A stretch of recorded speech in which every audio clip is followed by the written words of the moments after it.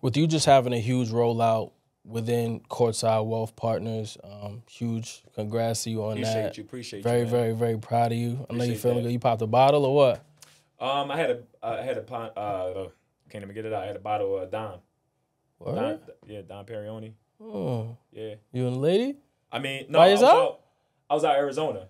I was with me Oh, and, me, and, me and the homies. Me, and the, me and the me and the lady. We um, she took me to dinner and we had some. Like that. We like women that have money. Yeah, no, for sure. we went down. Yeah, we do. Why you laughing? My man in the back, he love, he love. You gotta, you gotta have a good credit score, ladies. listen. good credit, good credit score if you want to deal with Rel Plush. You know Listen, what I'm I'm saying? mad at them. We took Mike- it back. Mike Yeah. have his standard. And shout out to Rel and Cuddy, man. They've been holding us down in the back. No, Rel and Cuddy, I'm them guys. I'd be remiss if I didn't mention that. Very true. Remember, I said that though. You're sick.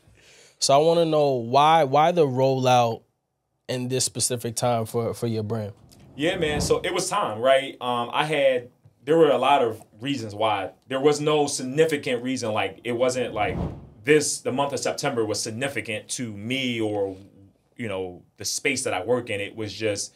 Um, uh, it was just time. Like I, I, I had already given notice that I was leaving, and you know I was preparing to launch a firm, and I had my full support, the full support of my previous manager, um, who I'm forever indebted to. He's a great guy. Learned a lot from him. Um, I told him what my plan was, and told him that this had been. See, most people think that Nas just up and became. You don't just up. He just jumped up. out the window. You don't do that. Yeah. This is a strategic Smart man. process that has taken place. Intentional three- man. Three to four years has taken, and I didn't switch lanes. I'm in the same field. Yeah. You know what I mean? And so, um, it was just the right time to to make them to make the motion happen. Um, and I I had there was clients that were ready to work with me that I didn't want to onboard at my previous employer, and and I wanted to to onboard them within my firm and Mm-hmm. and have it be the way I wanted it to be. So. Um, shout out to Courtside Wealth Partners. So if you Yeah, are big watching, shout out. Courtside Wealth Partners is a full service financial planning and investment management firm that serve athletes and entrepreneurs alike. Um, you can visit Courtside Wealth part courtsidewealth.com, excuse me, uh, to learn more. I'm on every platform, Nasir Smith. Yeah, yeah. You know what I mean? I'm, I'm doing all the plug, plugging in now, but uh, Yeah. I'm intentional, man. And I'm gonna tell you one thing: if you not if you're not a client of Courtside Wealth Partners, you you should be. And um, it's for everything besides the X's and O's. Like what a lot of advisors can't do that I can do is care. Because what we forgot, like I work in the we I work in the service, the ser- client service industry, obviously dealing with you know individuals, and so mm-hmm. caring is not a strategy of like who I am. It's it's it's a part of the fabric that that makes you know makes me Nasir Smith, right? The the way I was raised, the way I carry myself, and so there's so many people that are in or serving athletes, you know, as their financial advisor, they don't care. They don't show up for them in the ways that I do for my clients. They don't go to bat for them the way I do for my clients. And so, if someone were to ask me, "Well, Nasir, what is the difference between you and you know X firm over there?" I'm I'm not going to sit here and tell you how, what the returns were like for the clients that I currently have. I'm not going to tell you all of the X's and O's of you know someone's financial picture in order to do that. I'm going to talk about me as a human being, my values, uh, my character, how I've been able to conduct myself. Um, and my name holds weight, bro. Like, believe it or not, there are spaces that I'm operating in, like and I'm highly regarded. I actually got some feedback um, that I'm going to read. I like that. I'm gonna read to you, and uh, I'm gonna actually, I'm gonna obviously keep the name of the individual out Confidential. of it, um, because we don't violate client confidentiality um, Mm-hmm. at Courtside Wealth Partners. But I want you guys to, I want you guys to understand something. So, um, this is what this this I'll I'm gonna read this right. So it says, "So great to speak to you yesterday." Blank, thank you for getting all of us on the call and connected. Nasir, such a pleasure to meet you. Again, just have to compliment compliment you on how you are approaching this business. Even beyond your client, we'd love to support you however we can. It goes a long way for these guys to have someone like you in their corner. Looking forward to continuing the conversation. And so when I think about that, right, I got on this call and was talking about one of my clients with this with this particular um, entity, And these two women were raving about me as a financial advisor because they work with other advisors, you know, that are, you know, helping their clients sort of achieve some of the similar things. And they couldn't stop raving about me in terms of how I showed up for this particular client and the way I'm thinking about orchestrating their life outside of the game of of of the sport that they play, right? And you know, thinking about the long-term positioning of of this particular player. So that that that's a review and I saved it and they want to they want to send me business. That don't happen. It's the first time I met these people. Mm. That don't happen regularly. That is a that that is that is the, the difference between me and your advisor at Morgan Stanley. And no and no shade to Morgan Stanley, but I'm gonna tell you one thing: he can't do what I can do. And feel that's, that. that's What that's it. what within that situation, what did you do that was unique or different that you believe that they saw was a difference in just the way I go about it, displayed it. man. Like the, the, the type of the, the type of questions that I asked um, as it pertained to this particular deal. Right. Um, the way I um, explain the setup of this individual's um, off the court business structure, right? Allowing myself to elaborate on how we are evaluating opportunities as they come to this particular client because we're not chasing money. I just said that a couple minutes ago, right? Money is a by. If you approach in the game, if you're in the if you're in the sports of if you are in the business of excuse me sports entertainment, right? The way you approach it is not by chasing money, but making sure that the opportunities that are in front of you align with you as an individual, your values, your character, right? Is it a brand that you want to put yourself behind? and allow money to be the byproduct of that, right? Doing good quality work with good quality people.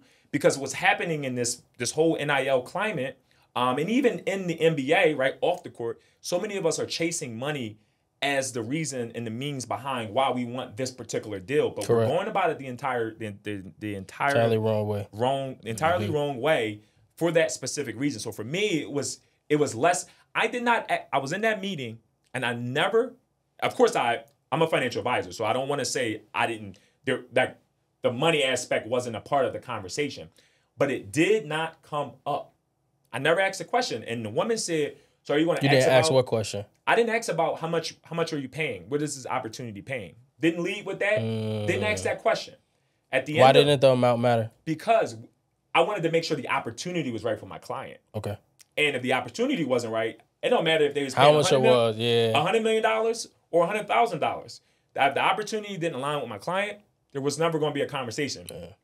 Now, at the end of the conversation, we got into what course. conversation structure Yeah. looked like because obviously that's that's very vitally important um, for my client, and so they they admired that because most advisors are going into that meeting and the first thing Money off top. is money off the top because that's how they the money they can get from them from them that situation Trickles down into them. it trickles down into them. I'm not worried about that. I'm gonna be I'm gonna be taken care of because I'm doing. the right thing. But guess what? It don't cost nothing to care, and Mm. I care. It's not a strategy of mine. It's not a strategy. I don't know. I kind of feel like when you when you hear somebody in, in your space say that, especially within athletes, it's it's tough to believe it's authentic, Yeah. right? Because it's like you're telling me that you care, but I know you're gonna get paid, Mm-hmm. right? But in the same breath, it's like I know you're being authentic after the relationship is being built and cultivated, and then they see how you're handling that business. It's like, oh well, he really does care.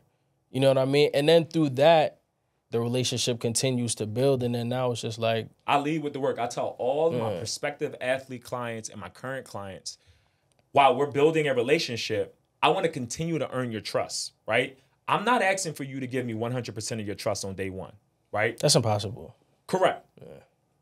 But what I am asking for is the opportunity to show you that I care for you. Because if you succeed, I'm to succeed as a financial advisor because you're succeeding. But if your success is predicated on how much money you're about to get from a deal, that's not really, for, for me, that's not really creating success for the client because that might be bad money to earn. And if we're not evaluating it that way, then again, we're not doing what's in our client's best interest. And so for me, it's it, it is genuine, it is authentic, right? Right. Um, and I feel as though that each one of my clients can attest to the fact that they feel beyond everything else, they feel like they can relate. I relate to them. They can connect because that's a big thing. A lot of the people that I serve, they don't got nothing in common. they don't got a lot of things in common with the advisors out there. Because I'm I'm I tell them first meeting, I'm, from right- the inner cities of Philadelphia, man. so I'm right from there is not from. a scenario I haven't seen, right? I've, I, I, I've seen both sides, right?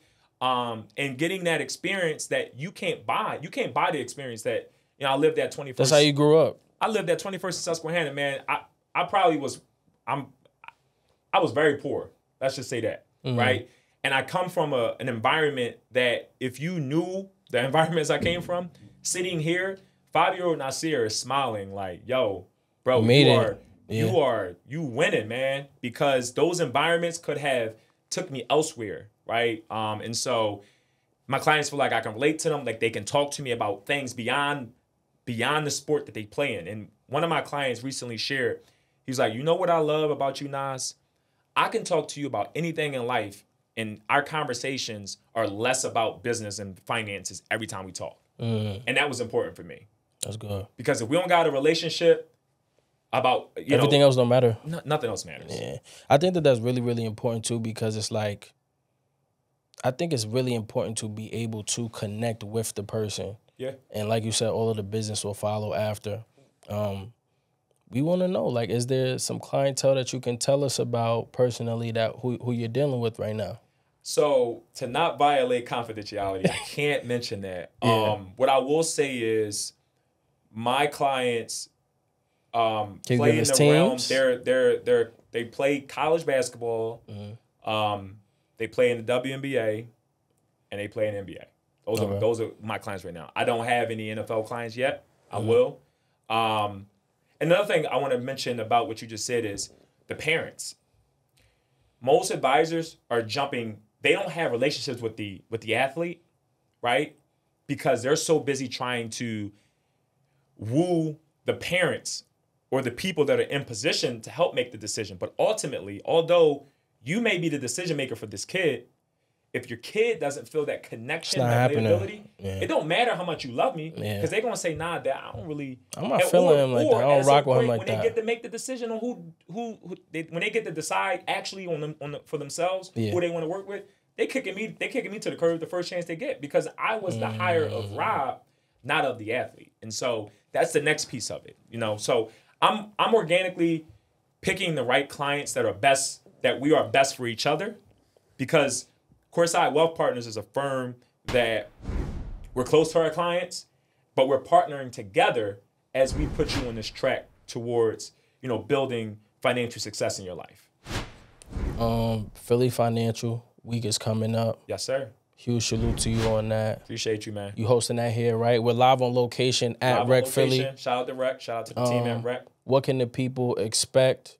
What's going to be new about this one that you haven't had in the, in the past years? So um, hmm, this is something else. This is where I differentiate myself, man. So right here in the city of Philadelphia. So seven years ago to this to this day, You know, seven the number completion, right? I told you that. Mm, you did tell me that. You did tell me that. I'm in the numbers too, so you did tell me that. Yeah. Um, but seven years ago, I, at that point, I was year three, year four in Mm-hmm. finance, and I kept running home telling my folks like all this information I was learning at work and and while while going to school. And so eventually, I'd like had a like an aha moment, like, yo, I want to.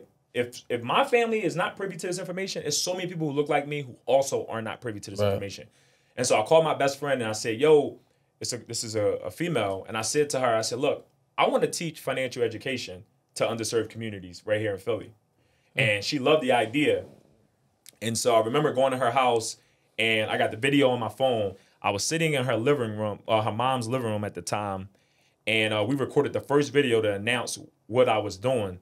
And what ended up what ended up as an idea that stemmed at a church that it stemmed from, excuse me, a church that I grew up in in the middle of North Philly, North Philly here, um, on the second floor, has now birthed into an organization, 501c3 nonprofit, that is geared towards financial education for schools and underserved communities across America.